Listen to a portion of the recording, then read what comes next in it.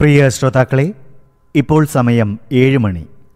കൊല്ലവർഷം ആയിരത്തി ഒരുന്നൂറ്റി തൊണ്ണൂറ്റിയേഴ് തുലാം പതിനാറ് തിങ്കളാഴ്ച രണ്ടായിരത്തി ഇരുപത്തിയൊന്ന് നവംബർ ഒന്ന്. എഫ് എം ബാൻഡിൽ തൊണ്ണൂറ് ദശാംശം എട്ട് മെഗാ ഹെഡ്സ് ഫ്രീക്വൻസിയിൽ ഇത് Janvani.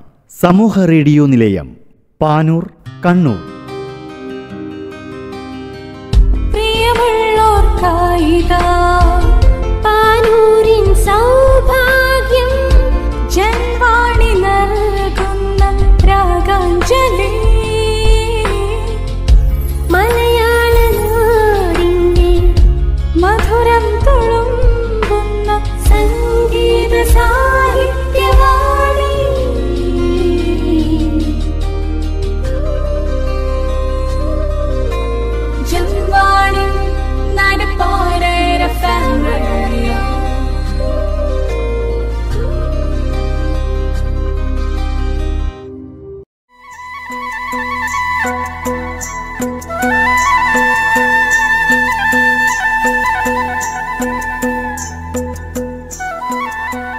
ninety point eight FM FM F M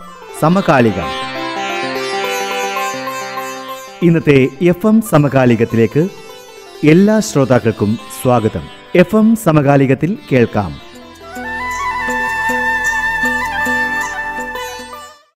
ഇന്ന് കേരളപ്പിറവി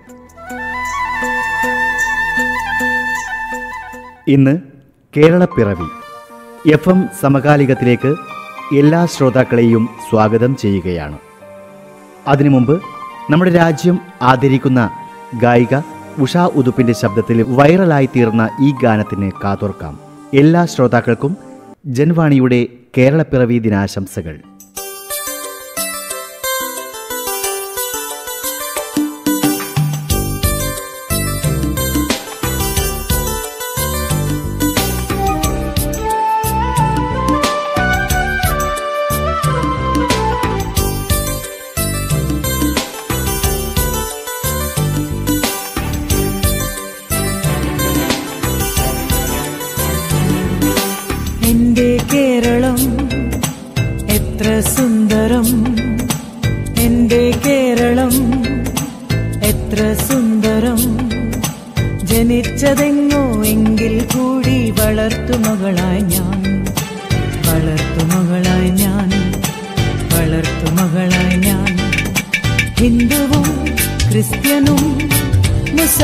മുസൽമാനും ഹിന്ദുവും ക്രിസ്ത്യനും മുസൽമാനും. എന്റെ സഹോദരരായി ഇവിടെ എന്റെ സഹോദരരായി.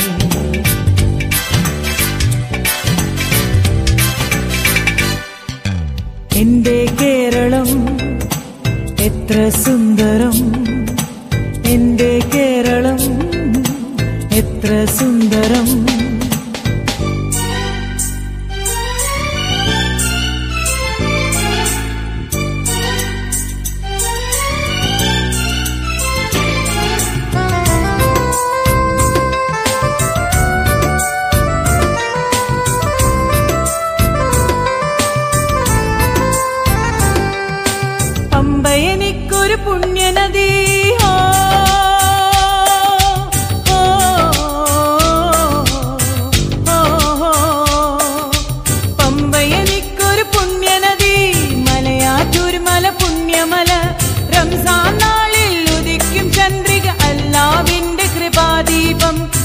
അല്ലാവിന്റെ കൃപാദീപം അല്ലാവിന്റെ കൃപാദീപം.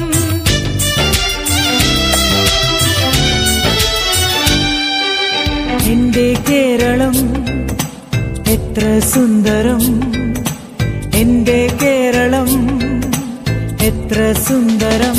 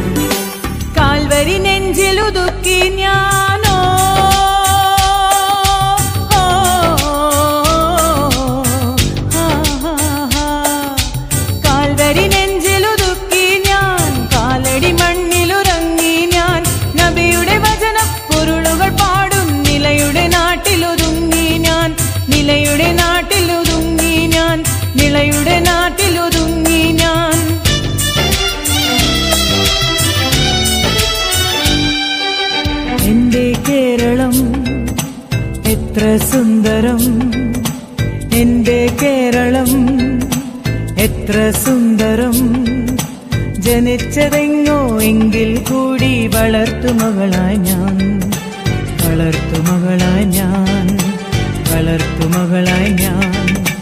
ഹിന്ദുവും ക്രിസ്ത്യനും മുസൽമാനും ഹിന്ദുവും ക്രിസ്ത്യനും മുസൽമാനും.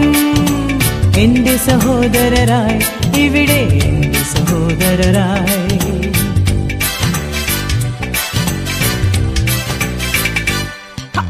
എന്റെ കേരളം എത്ര സുന്ദരം.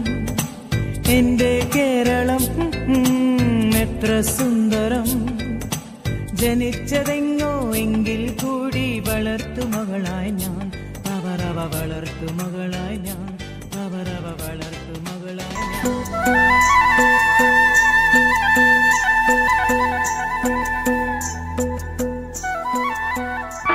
നമുക്ക് സ്നേഹിക്കാം നമ്മുടെ നാടിനെ. നമുക്ക് മറക്കാതിരിക്കാം മലയാള ഭാഷയെ. നമുക്ക് അഭിമാനിക്കാം മലയാളിയായി പിറന്നത്. ഒരിക്കൽ കൂടി എല്ലാവർക്കും ഹൃദയം നിറഞ്ഞ കേരളപ്പിറവി ദിനാശംസകൾ.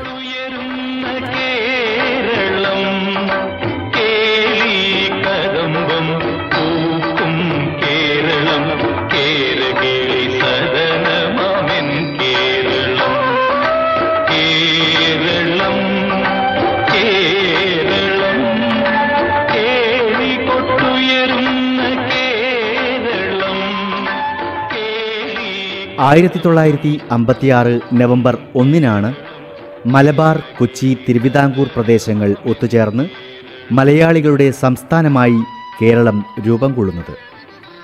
ഇന്ന് നാം കാണുന്ന കേരളത്തിന്റെ പിറവിക്ക് പിന്നിൽ ഒട്ടേറെ പോരാട്ടങ്ങളുടെ കഥയുണ്ട്.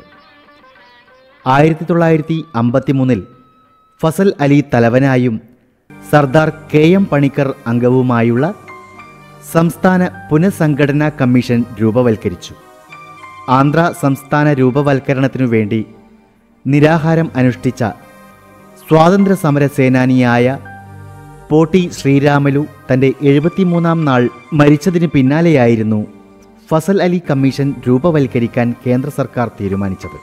ആയിരത്തി തൊള്ളായിരത്തി അമ്പത്തഞ്ച് സെപ്റ്റംബറിലാണ് സംസ്ഥാന പുനഃസംഘടനാ കമ്മീഷൻ കേന്ദ്രത്തിന് റിപ്പോർട്ട് കൈമാറിയത്. അതിൽ കേരളത്തെ ഒരു സംസ്ഥാനമാക്കി മാറ്റാനുള്ള ശുപാർശയുണ്ടായിരുന്നു. സംസ്ഥാന പുനഃസംഘടനാ റിപ്പോർട്ട് പ്രസിദ്ധപ്പെടുത്തി പതിമൂന്ന് മാസത്തിനു ശേഷമാണ് ഇന്ത്യയുടെ രാഷ്ട്രീയ ഭൂപടം തയ്യാറാക്കിയത്. കേരളത്തിന്റെ ചില ഭാഗങ്ങൾ വിട്ടുകൊടുത്തും ചിലത് കൂട്ടിച്ചേർത്തുമാണ് കേരളം രൂപീകരിച്ചത്. തിരുവിതാംകൂറിലെ തോവാളം അഗസ്തീശ്വരം കൽക്കുളം വിളവങ്കോട് എന്നീ നാല് താലൂക്കുകളും ചെങ്കോട്ട താലൂക്കിന്റെ ഒരു ഭാഗവും വേർപെടുത്തി മദിരാശി സംസ്ഥാനത്തോട് ചേർക്കുകയും ശേഷിച്ച തിരുവിതാംകൂർ കൊച്ചി സംസ്ഥാനത്തോട് മലബാർ ജില്ലയും തെക്കൻ കാനറ ജില്ലയിലെ കാസർഗോഡ് താലൂക്കും ചേർക്കുകയുമാണ് ഉണ്ടായത് കന്യാകുമാരി ജില്ല കേരളത്തിന് നഷ്ടമായെങ്കിലും ഗൂഡല്ലൂർ ഒഴികെയുള്ള മലബാർ പ്രദേശം കേരളത്തോട് ചേർക്കപ്പെട്ടു. നവംബർ ഒന്നിന് ചിത്തിര തിരുനാൾ മഹാരാജാവ് തിരുവിതാംകൂർ കൊച്ചി രാജപ്രമുഖ സ്ഥാനത്ത് നിന്നും വിരമിച്ചു. ബി. രാമകൃഷ്ണരാവു കേരളത്തിന്റെ ആദ്യ ഗവർണറായി അധികാരമേൽക്കുകയും ചെയ്തു. രൂപീകരണ സമയത്ത് അഞ്ച് ജില്ലകൾ മാത്രമായിരുന്നു കേരളത്തിൽ ഉണ്ടായിരുന്നത്. കേരളം രൂപീകൃതമായതിനു ശേഷം ആയിരത്തി തൊള്ളായിരത്തി അമ്പത്തിയേഴ് ഫെബ്രുവരി ഇരുപത്തെട്ടിനായിരുന്നു കേരളത്തിൽ ആദ്യമായി തെരഞ്ഞെടുപ്പ് നടന്നത്. തുടർന്ന് ഇ എം എസ് മുഖ്യമന്ത്രിയായുള്ള സർക്കാർ അധികാരമേറ്റു. കഴിഞ്ഞ കുറച്ചു കാലമായിട്ട് കേരളപ്പിറവി ദിനമായ നവംബർ ഒന്ന് മലയാള ദിനമായും ഒന്നു മുതൽ ഏഴ് വരെ ഔദ്യോഗിക ഭരണഭാഷാവാരമായും ആഘോഷിച്ചു വരുന്നുണ്ട്. കേരളം എന്നാൽ കേവലം ഒരു സംസ്ഥാനത്തിന്റെ പേര് എന്ന നിലയിൽ മാത്രമല്ല കണക്കാക്കേണ്ടത്. അത് മതേതര ചിന്തകൾ മുട്ടിട്ട ജാതീയ വർണ ഉച്ചനീചത്വങ്ങൾക്കെതിരെ പടപൊരുതിയ വീരപുരുഷന്മാരുടെ ജന്മഭൂമി കൂടിയാണ്. കേരളത്തെ കേരളമായി നിലനിർത്തുന്ന അനേകം ഘടകങ്ങളുണ്ട്. ചരിത്ര രൂപീകരണത്തിലും വൈവിധ്യങ്ങളായ സംസ്കാരത്തെ സ്വീകരിക്കുന്നതിലും പങ്കുവച്ച അനേകം മുഹൂർത്തങ്ങളിലൂടെ കടന്നുപോയി ഈ നാട്. പ്രിയ ശ്രോതാക്കളെ നിങ്ങൾ കേട്ടുകൊണ്ടിരിക്കുന്നത് എഫ് എം സമകാലികം. ഇന്ന് കേരളപ്പിറവി.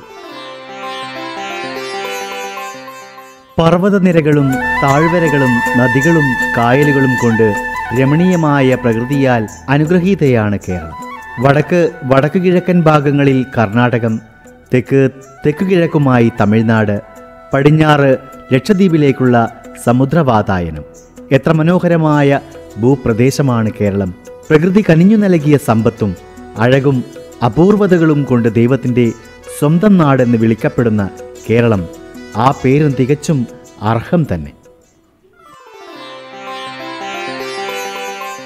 കേരളപ്പിറവി ദിനാഘോഷങ്ങളുടെ പശ്ചാത്തലത്തിൽ കോവിഡ് പത്തൊമ്പത് എന്ന മഹാമാരി കൂടി നിലനിൽക്കുമ്പോൾ ജാഗ്രതയാർന്ന കരുതലോടെയുള്ള പ്രവർത്തനങ്ങളിൽ കൂടി മുന്നോട്ടു പോകുകയാണ് നമ്മൾ. സംസ്ഥാന സർക്കാർ നടപ്പാക്കുന്നതും നടപ്പാക്കുന്നതിന് ലക്ഷ്യമിട്ടതുമായ കാര്യങ്ങൾ എന്തൊക്കെയാണെന്ന് നമുക്ക് നോക്കാം. അടിയന്തര കടമ. കോവിഡ് പത്തൊമ്പത് പ്രതിരോധ പ്രവർത്തനങ്ങൾ ശക്തിപ്പെടുത്തുക തന്നെയാണ് ആദ്യ നടപടി. ഇത്തരം പ്രവർത്തനങ്ങളെ ചിട്ടപ്പെടുത്തുവാനും സ്ഥായിയായ സംവിധാനം ഏർപ്പെടുത്താനുമായി ദുരന്ത നിവാരണ പദ്ധതി രേഖ മെച്ചപ്പെടുത്തി പൂർത്തിയാക്കുക തന്നെയാണ് പ്രധാന കടമ. ശുചിത്വം പരമപ്രധാനം. അനിവാര്യ ചുമതലകളിൽ പ്രധാനമാണ് മാലിന്യ സംസ്കരണം. ഓരോ തദ്ദേശ സ്വയംഭരണ സ്ഥാപനത്തിന്റെയും ഗുണമേന്മ നിശ്ചയിക്കുക ഒരുപക്ഷെ എത്രമാത്രം ശുചിത്വമുള്ള പ്രദേശമാണ് അതെന്നതിന്റെ അടിസ്ഥാനത്തിലാണ്. ശുചിത്വ കേരളത്തിലേക്കുള്ള യാത്ര ശുചിത്വ പഞ്ചായത്തുകളിലൂടെയും നഗരങ്ങളിലൂടെയുമാണ്. ഗാർഹിക വ്യക്തി ശുചിത്വത്തിനൊപ്പം പൊതുസ്ഥലങ്ങളിൽ ഉപയോഗയോഗ്യമായ വൃത്തിയും വെടിപ്പുമുള്ള ശൗചാലയങ്ങളും ടേക്ക് എ ബ്രേക്ക് വിശ്രമ കേന്ദ്രങ്ങളും ഉറപ്പുവരുത്തണം. വിശപ്പുരഹിതം നമ്മുടെ നാട്. ദാരിദ്ര്യ നിർമ്മാർജനം ലക്ഷ്യമാക്കിയുള്ള പ്രവർത്തനത്തിന് മുൻതൂക്കം നൽകണം. ഒരാൾ പോലും പട്ടിണി കിടക്കുന്നില്ലെന്ന് ഉറപ്പുവരുത്തണം. എല്ലാവർക്കും ഭക്ഷണം ഉറപ്പുവരുത്തിക്കൊണ്ടുള്ള വിശപ്പുരഹിത പ്രദേശമായി തങ്ങളുടെ നാടിനെ വളർത്തിയെടുക്കണം. ജനകീയ ഹോട്ടൽ പ്രവർത്തനം ചിട്ടപ്പെടുത്തുവാൻ സഹായിക്കണം. എല്ലാവർക്കും തൊഴിൽ. തൊഴിൽ രംഗം തദ്ദേശ സ്വയംഭരണ സ്ഥാപനങ്ങളുടെ ശ്രദ്ധയിലേക്ക് ഇനിയും കാര്യമായി എത്തിയിട്ടില്ല. മഹാത്മാഗാന്ധി ഗ്രാമീണ തൊഴിലുറപ്പ് പദ്ധതിയും അയ്യൻകാളി നഗര തൊഴിലുറപ്പ് പദ്ധതിയും വ്യക്തമായ ആസൂത്രണത്തിലൂടെ നടപ്പിലാക്കാൻ ഓരോ ജനപ്രതിനിധിയും മുൻകൈയെടുക്കണം. നൂറ് ദിവസം തൊഴിൽ എന്നത് രജിസ്റ്റർ ചെയ്ത എല്ലാ കുടുംബങ്ങൾക്കും ലഭ്യമാകാനുള്ള ശ്രദ്ധക്കൊപ്പം അത്തരം പണികൾ നാടിന് ഉപകാരപ്രദമാണ് എന്ന് വരുത്തുകയും വേണം.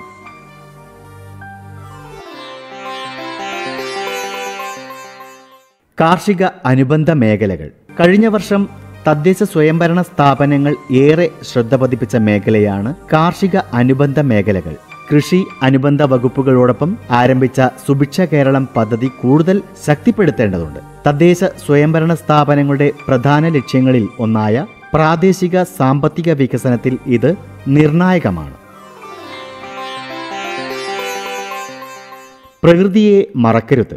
ഹരിത കേരളം മിഷന്റെ സാങ്കേതിക സഹകരണത്തോടെ തോടുകളും പുഴകളും കുളങ്ങളും പുനരുജ്ജീവിപ്പിക്കുന്നതിനായി ഒട്ടേറെ ഇടപെടലുകളാണ് ഇക്കഴിഞ്ഞ വർഷങ്ങളിൽ നടന്നത്. അത് കൂടുതൽ മെച്ചപ്പെട്ട നിലയിൽ ആവിഷ്കരിച്ച് നടപ്പാക്കണം. പച്ചത്തുരുത്തുകൾ ഇനിയും ഇനിയും ഉണ്ടാവണം. ഒരാളും പിന്തള്ളപ്പെടരുത്. പട്ടികജാതി പട്ടികവർഗ വികസന കാര്യത്തിൽ തദ്ദേശ സ്വയംഭരണ സ്ഥാപനങ്ങളുടെ ഇടപെടൽ വേണ്ടത്രയില്ല എന്ന പരാതി ഉയർന്നു വരാറുണ്ട്. അടുത്ത അഞ്ചു വർഷങ്ങൾ ഇതിനായി തന്നെ നീക്കിവെക്കാൻ ഓരോ തദ്ദേശ സ്വയംഭരണ സ്ഥാപനവും തയ്യാറാവണം. വിദ്യാഭ്യാസവും ആരോഗ്യവും. അടുത്ത തലത്തിലേക്ക് വിദ്യാഭ്യാസ രംഗം ചിട്ടപ്പെടുത്തണം. അതിനായി വിദഗ്ധരെയും സ്ഥാപനങ്ങളെയും സഹകരിപ്പിച്ചുകൊണ്ട് സമഗ്ര പരിപാടി തയ്യാറാക്കണം. ഒരു വിദ്യാർത്ഥി പോലും പിന്തള്ളപ്പെട്ടു പോകരുത് എന്നുറപ്പുവരുത്തണം. ആരോഗ്യരംഗത്തും ഇതുതന്നെയാണ് സ്ഥിതി. കോവിഡ് പശ്ചാത്തലത്തിൽ ഇതിന്റെ ആവശ്യവും വർദ്ധിച്ചിരിക്കുകയാണല്ലോ. സാന്ത്വന പരിചരണ രംഗത്തും തദ്ദേശ സ്വയംഭരണ സ്ഥാപനങ്ങളുടെ ഇടപെടൽ ശക്തിപ്പെടുത്തണം. എല്ലാവർക്കുമായി തദ്ദേശ ഭരണം. സാമൂഹ്യ മേഖലയിൽ നൂതനമായ ഒട്ടേറെ ഇടപെടലുകൾ ആവശ്യമാണ്. ബാലസൗഹൃദ ഭിന്നശേഷി സൗഹൃദ വയോസൗഹൃദ തദ്ദേശ സ്വയംഭരണ സ്ഥാപനങ്ങളാകണം. കേരളത്തിലെ ഓരോ പ്രദേശവും അതുവഴി കേരളവും കേരളത്തിലെ ജനസംഖ്യയിൽ പ്രായമേറിയവരുടെ എണ്ണം വർദ്ധിക്കുന്ന ഈ കാലഘട്ടത്തിൽ ഓരോ പ്രദേശത്തും വയോജന സൗഹൃദം ആകണം. സംസ്ഥാനത്ത് ഒറ്റപ്പെട്ട സംഭവങ്ങൾ പ്രവണതകൾ സംഭവിക്കുന്നുണ്ടെങ്കിലും അത് സാമാന്യവത്കരിക്കപ്പെടേണ്ടതില്ല എന്നതാണ് സമകാലികത്തിന്റെ അഭിപ്രായം. അത്തരം സംഭവങ്ങളെ നേരിടാനുള്ള കരുത്തും ആത്മവിശ്വാസവും നമ്മൾ ആർജിച്ചിട്ടുള്ളതാണ്. നമുക്ക് പ്രതീക്ഷകളോടെ മുന്നോട്ടു പോകാം. ഏവർക്കും ഒരിക്കൽ കൂടി ജൻവാണിയുടെ കേരളപ്പിറവി ദിനാശംസകൾ. നിർവഹണം എൻ വിനീത് കുമാർ ആഖ്യാനം Vinod Panoor.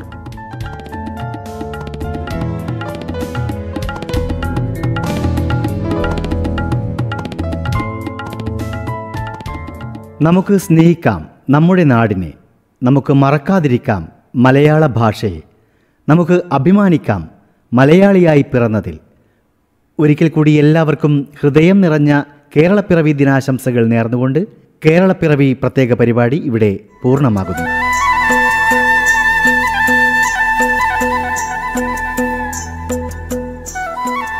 Ninety point eight F M സമകാലികം.